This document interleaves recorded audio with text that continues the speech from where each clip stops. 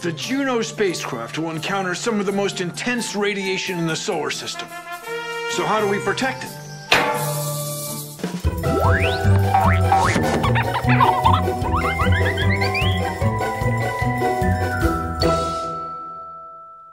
Jupiter has a very strong magnetic field, 14 times stronger than the Earth's magnetic field. It's as though if we cut the planet in half, we'd find a giant magnet inside, like this one.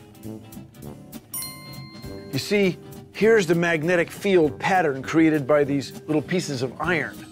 But Jupiter doesn't have a magnet inside. Instead, it probably has a core made of hydrogen, squeezed down to such high pressure that it acts like a metal. And when it churns and swirls, it produces this super strong magnetic field that draws particles from the sun at such high speeds that they produce the radiation equivalent of 100 million X-rays. Now that radiation would destroy the electronics on board the Juno spacecraft. So what we do is we enclose Juno's electronics in a metal vault like this one so our electronics can survive. Now, the real vault on board Juno doesn't look uh, like a cookie tin. It looks more like this.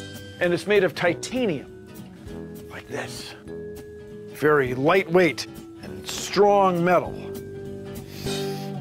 Oh yeah, that's titanium.